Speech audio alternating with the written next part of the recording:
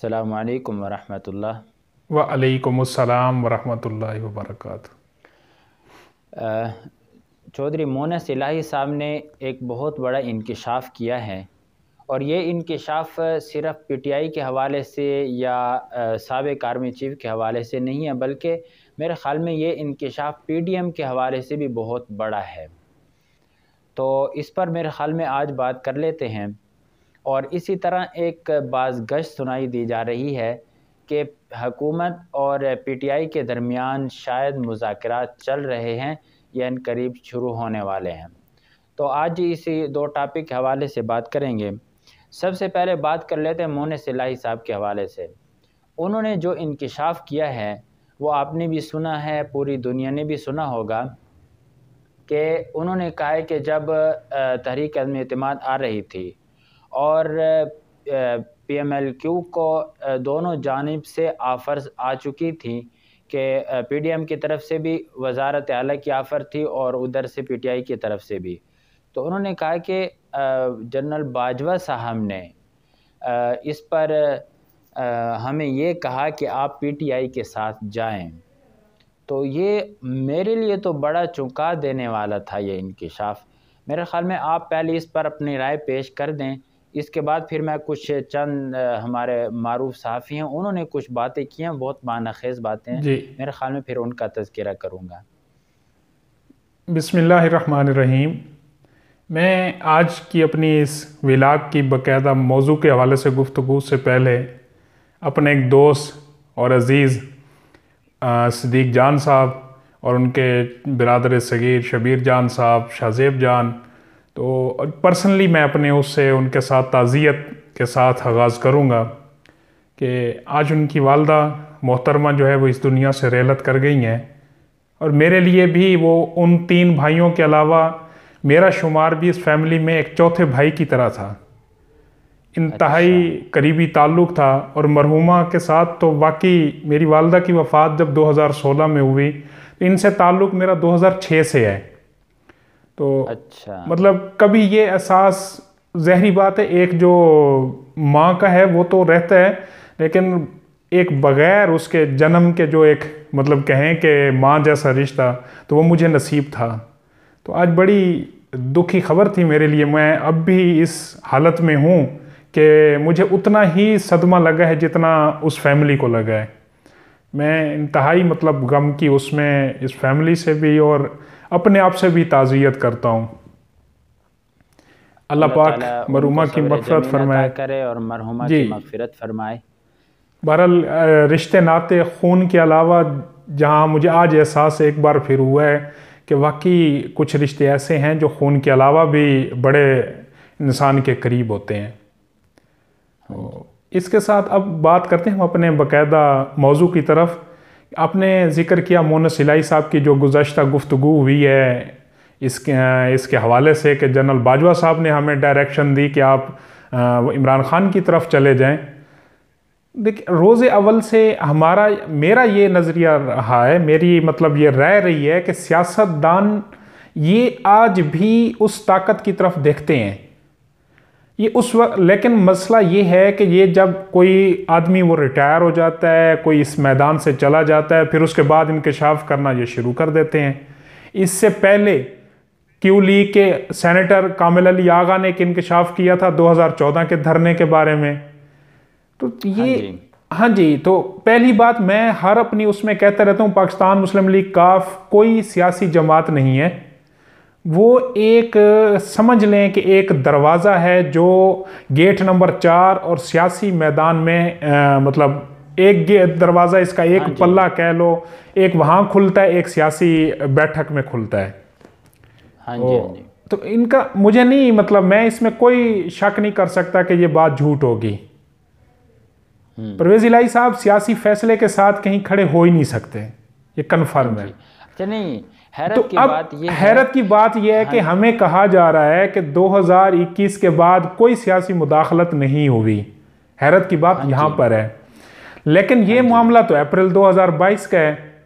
अब इस पर कंसर्न उस महकमे का बनता है उस इदारे के उन तर्जमानों का बनता है जो हमें कह रहे हैं कि 2021 के बाद मुदाखलत नहीं हुई और इसकी एक ज़िम्मेदारी पीडीएम पर भी आती है कि पीडीएम पीडीएम भी इस बात को लेकर तहकीकात करें कि अगर वहाँ झूठ बोला गया था कि 2021 के बाद मुदाखलत नहीं हुई और मुन सिलाई के मुताबिक अगर हुई है तो जिम्मेदारों को एक बार कानून के सामने लाओ एक बार आपको लटकाना होगा।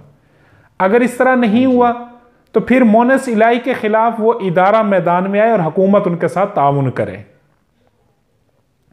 ये सियासी उस की बात एक और भी है जी।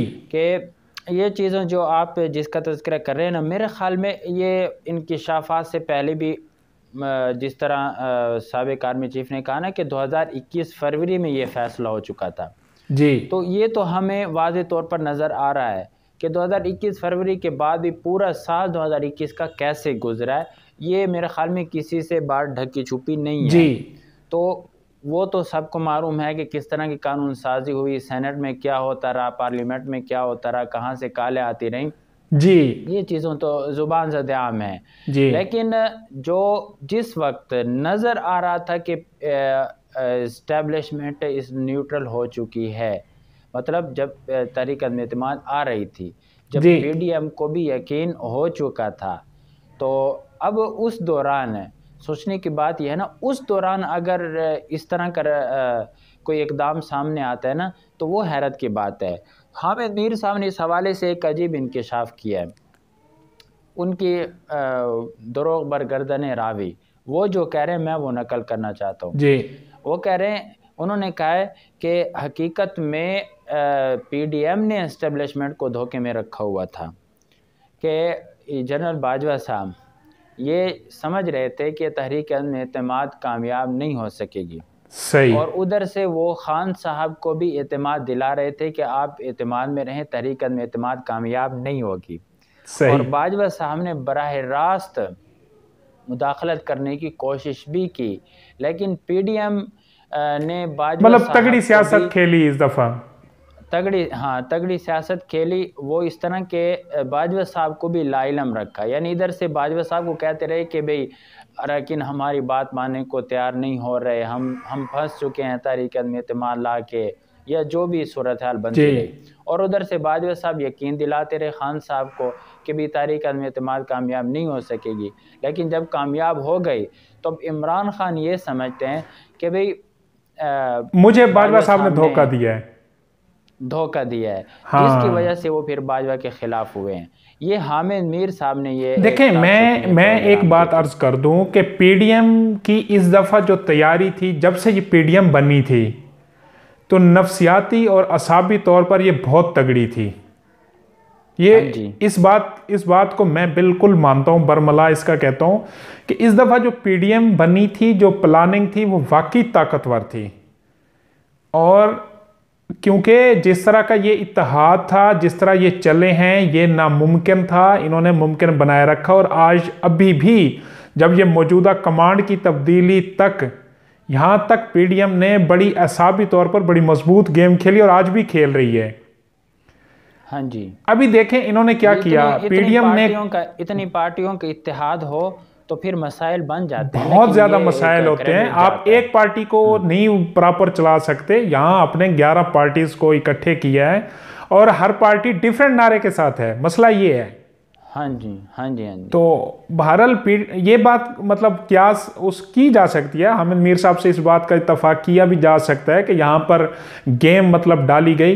लेकिन मसला ये है कि अब मोने सिलाई साहब जिस तरह का इशारा दे रहे हैं तो ये बात मेरे ख्याल में ये आज भी एक बार देखें, चाहे कोई रिटायर हो गया है, चाहे कोई सर्विस में है, ये आपको एक बार फैसला सियासत को ये किया ये गया था कि जब ये अभी अदम अतमाद नहीं आई थी, प्रोग्राम भी नहीं था, बातचीत चल रही थी, उससे पहले आपको याद होगा, पंजाब में अदम अतमाद की बात हो रही थी। तो हाँ वहाँ पर पीडीएम ने और जो चौधरी साहबान थे ये इस बात पर इतफाक कर चुके थे परवेज इलाई साहब की वजारत आला के लिए। इमरान खान की अदम अतमाद हाँ से पहले की बात हो रही आपको याद होगा। हाँ जी हाँ जी। तो पीडीएम तो उम्मीदवार मतलब शबाज शरीफ साहब चल के पहले गए थे अदम अतमाद से पहले भी गए हाँ थे। हाँ जी। तो शायद वहाँ पर वाकई ये हुआ होगा। लेकिन आप ये समझें कि जो आपको कह रहे थे कि 2021 से हमने कोई मुदाखलत नहीं की फरवरी से तो ये आप समझ लें आइंदा भी हाँ अब ये है कि मौजूदा सेटअप में शायद इस तरह के आसार नज़र आए। अब इतना प्रेशर बढ़ चुका है अब इतनी सियासी जो तपिश है वो इतनी हाई लेवल पे है। एक तो मुल्क हालात इस लेवल पर हैं। अब शायद आपको हाँ वाकई न्यूट्रल होना होगा। अच्छा ये जो अब न्यूट्रल की जो ये खामोशी है जी। अब कुछ हमारे सहाफ़ती हलके इसमें भी ये बताने की कोशिश कर रहे हैं कि ये जो खामोशी है ये माना खेज़ खामोशी है। ये मुस्तकिल खामोशी नहीं है। भी वक़्त आने पे ये खामोशी अपना असर दिखाएगी। आ, बिल्कुल दिखाएगी। आप आप देखेंगे कि इस इदारे के ख़िलाफ़ जिस तरह की मतलब पीछे ट्रेंड सेट किए गए या जिस तरह इस इदारे को ज़िम्मेदार सौ फ़ीसद ठहराया गया है तो ये चीज़ और इसमें जो आपको पता है कि ये जो आ, मतलब अब हमारा मौजूदा चीफ साहब हैं इनके ख़िलाफ़ जिस तरह की कार्रवाई की कोशिश की गई और फिर हाँ इस्लामाबाद में बैठे हुए शख्स के ऊपर जिस तरह एफआईआर कराने की कोशिश की गई थी तो ये जो मेजर जनरल फैसल नसीर साहब हैं ये मौजूदा आर्मी चीफ के वो सेक्रेटरी रह चुके हैं एमआई के दौर में भी आईएसआई के दौर में भी। अब मज़ीद आपकी जो सियासी चालबाजी है वो पीडीएम की चलनी है ये ये हमें भी लग रहा है। अच्छा। जी। अच्छा अब दूसरे टॉपिक की तरफ़ आते हैं। ये जो मुजाकर की जो बातें चल रही हैं। जी। इसमें आज हमने देखा कि राना सनाउल्ला साहब और साद रफ़ीक साहब ने प्रेस कॉन्फ्रेंस भी एक की है। एक तो मौका बिल्कुल पी डी एम का वाज तौर पर आ गया है कि ये फैसला वन पार्टी नहीं करेगी ये पी डी एम की क्यादत एम की क्यादत करेगी। और जी। हाँ और साथ में उन्होंने ये बात भी कही है कि आप मुजाकरात की दावत भी दे रहे हैं और लहजा बदमाशी वाला है। जी। वो आपको याद होगा कि जब 2014 का धरना चल रहा था तो मौलाना फजलरहमान साहब ने पार्लियामेंट में एक जुमला कहा था भीख भी मांगते हो। खैरात भी हाँ खैरात भी मांगते हो और गुंडागर्दी से मांगते गुंडागर्दी से। तो आज ये वाला सिस्टम उन्होंने आज आज भी रखा हुआ है कि खैरात भी मांग रहे हैं और गुंडागर्दी से मांग रहे हैं। देखिए हम तो पहले दिन तो से हमारे हम ये अर्ज़ कर रहे हैं हमारे हमारी ऑन द रिकॉर्ड है हमारी गुफ्तु कि खान साहब गेम से आउट हो चुके हैं। अब वो गेम में वापस बतौर कैप्टन आना चाहते हैं। हाँ जी। एक तो है ना कि मैदान में वापसी दूसरा वो बतौर कैप्टन वो ये चाहते हैं कि जो शिकस्त हुई है जो मतलब मेरे मुकद्दर में जो कुछ लिखा गया तो इसको मैं फेस सेविंग कह लें आप। जब वापसी उनको भी नज़र आ गई है अब। सूरत हाल अब उनको ये समझ आई। एक तो ये असम्बली तहलील होने से क्या होगा? हुकूमत ने क्या ऐलान किया वफाक ने? उन्होंने कहा ठीक है। अब तो उन्होंने दूसरी बार उन्होंने कहा जी हम अदम अदम अतमाद की तरफ़ भी नहीं जाते। असम्बली रिज़ाइन करे तहलील होती है हो जाए हम दोबारा इलेक्शन में चले जाएँगे। सूबों में इलेक्शन हो जाएगा। अब अगर हाँ सूबे में इलेक्शन होता है तो खान साहब की तो बात फिर भी नहीं बनती। सूबे में तो आज भी उन्हीं की हुकूमत है अगर कल बन भी जाए दोबारा। हाँ जी। तो खान साहब को क्या फ़ायदा तो, होगा? मतलब ये है। हाँ अब अब इसमें हाँ पीडीएम की तरफ़ से जो दो बातें आ रही थी ना जी। जो गवर्नर के हवाले से भी एतमाद के वोट लेने का आर्डर देंगे या इसी तरह में एतमाद का। मेरे ख्याल में फिर पीडीएम ने अब चलाके से काम लिया है। जी बिल्कुल। कोई स्टैंड नहीं ले रही है। पीडीएम को नुकसान दोनों सूरतों में जैसे अब हुकूमत है उनकी तो फिर अगर बिलफज बिलफज अगर वो जीत जाते भी हैं तो उन्हीं की हुकूमत दोबारा बनेगी ना जिनकी अब है जिनकी तहलील की जा रही मैं आज एक हिंट तो कर देता हूँ। लगता तो जी। हाँ जी हाँ जी। वो ये है कि पीडीएम चाह रही है पीडीएम चाह रही है कि अगर सूबों की हुकूमत गिरती है ना गिर जाए। फिर हम वफाक और सैनेट में मज़बूत हैं हम वहाँ कानून साजी करेंगे और पार्लियामेंट की मुदत बढ़ा देंगे। तो फिर इस इसका क्या उसके साथ ताल्लुक होगा? इसके साथ ये ताल्लुक होगा कि खान साहब की ख्वाहिश दोबारा शेरवानी की वो शायद मुमकिन ना रहे। तो नहीं मतलब इसका सूबाई असम्बलियों के साथ इसका क्या था देखे ना वही कह रहे हैं ना कि सूबाई असम्बली सूबाई असम्बलियों का इलेक्शन हो जाएगा सूबे की गवर्नमेंट जो बनेगी इसमें अभी जो आपके 25-30 एमपी है जो अब इलेक्शन लड़के गए हैं पंजाब में तो वो क्या आपको लगता है कि वो नॉर्मल हालत में रहेंगे? इसके हाँ वो तो ज़ाहिर है। जी जब इलेक्शन क्या हालात हालात भी इस तरह लग रहे हैं कि असम्बलियाँ तहलील नहीं होंगी। नहीं होंगी। क्या होता है मुस्तकबिल में? लेकिन फिल वक्त पीटीआई को भी मेरे ख्याल में समझ आना शुरू हो गई हाँ। तहलील करने से इसलिए उनके चेयरमैन साहब कह रहे हैं कि जी मैं मुजाकरात करना अब बात उन्होंने जी मैं दूसरी दूसरी देखें करप्शन और इस पर क्या ये ऐसा ये बेवकूफ़ाना काम हो सकता है कि जी आपके साथ आप कौन है? आपने चार साल हुकूमत की आपने कौन सी करप्शन पकड़ी है? अब हाँ जी करप्शन पर बात चार साल आप ऑलरेडी कर चुके हैं दस साल आप सूबा के पी के आप संभाल चुके हैं। तो करप्शन आपसे कोई ये बैठ के शबाज शरीफ इसलिए डायलॉग करेगा जी आप हमारे करप्शन के, के आप हैं कौन? मतलब आपकी हैसियत क्या है? कि आप कह रहे हैं जी मैं करप्शन पर तो बात नहीं आपसे किस बात का खौफ है पीडीएम को जो वो आपके साथ बाकी मामला पर डिस्कस करना? भाई आप मुजाकरात आप करना चाहते हैं आप खुले दिल से तस्लीम करें सियासतदान बने। पीडीएम तो फिर भी ऑफ़र कर रही है। आज भी उनका जो आपने देखा होगा जो अंदाज होगा वो सियासी होगा। उन्होंने ये कहा कि जमहूरी रवैयों में मुजाकर का होना ज़रूरी है जमहूरीत का हुसन है मुजाकर हम करेंगे। हाँ जी हाँ जी। हाँ जी। जी।